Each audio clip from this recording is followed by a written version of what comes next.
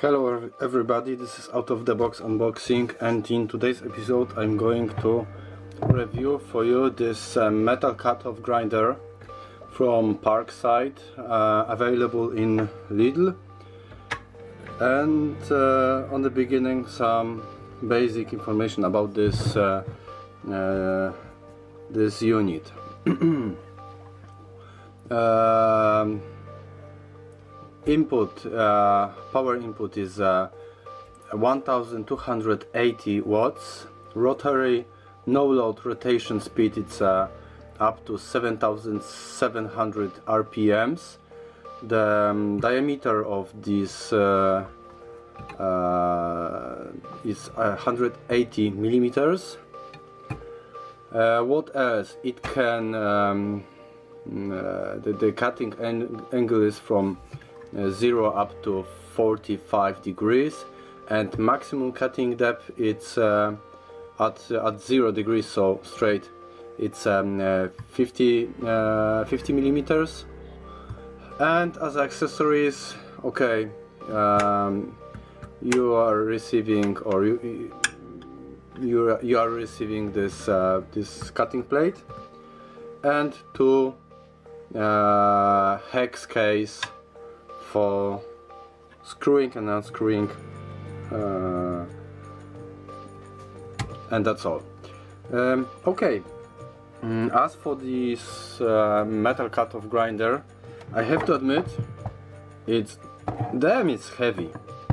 Uh, I will I will try to track the the the the, the, the how um, how heavy it is but on, in my opinion more than 5 kilograms or something like 5 kilograms. So uh, if you're measuring the quality of the uh, of the electro electric tools according to weights it's it's, it's quite high.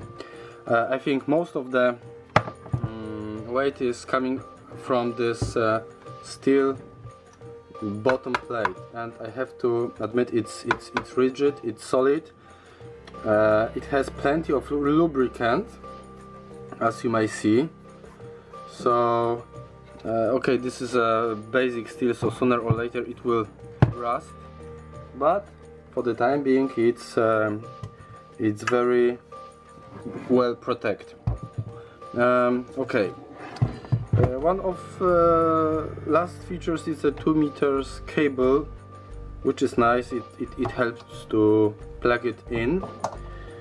And yes you have um, first of all to, to make it a little bit more compact on the left side there is a blockage and now you are able to operate. And as you may see the spring is quite quite uh, big so it's it's lifting without any problem. Mm, just cutting uh, cut off grinder. And yes mm, safety from the safety features this is a cover. It's going down when uh, when you're trying to cut. Uh, and everything in this I'm I have to admit I'm, I'm I'm I'm surprised. I'm positively surprised. Because everything here seems to be very well designed. I mean with some proper uh, proper approach. Everything is uh, rigid solid heavy. So uh, Parkside has this uh, black edition for professionalists. And I have to admit uh, I don't know how it will run in the in the long run how it will work work in the long run. But for the time being the, um, the feeling is very very positive. Mm. and yes um, I'm, I'm, I'm wondering who gonna to who, who going to, to, to pay for that? Because it's it's costing more than uh, 100 euros or something like 100 euros to, to, to, be to be precise. Um, and uh, you might also uh, buy angle grinder and the special cutting for that. So uh, you are ending up with uh, uh, angle grinder which is uh, more flexible and you can use it on the side. And with this coupling you have the stationary options. So it might be not so reasonable solution but if you work on the daily basis um, with steel it might be for you.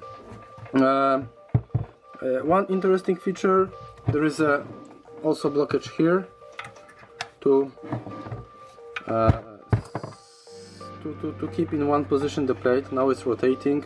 I'm pressing and it's locked. So almost the same mechanism like in the angle grinder in those days. Okay uh, I will turn it on for the for the moment. And you going and you will be able to to hear how loud how loud it is.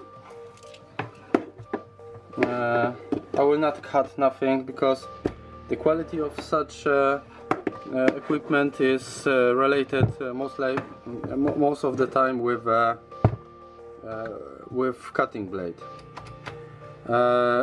on the downside there is no safety button here so you may you may um, you may turn it on by coincidence. Just just take a look. You see? So this is a uh, on the downside but yes in 3 to 1 I will turn it on for some uh, for short period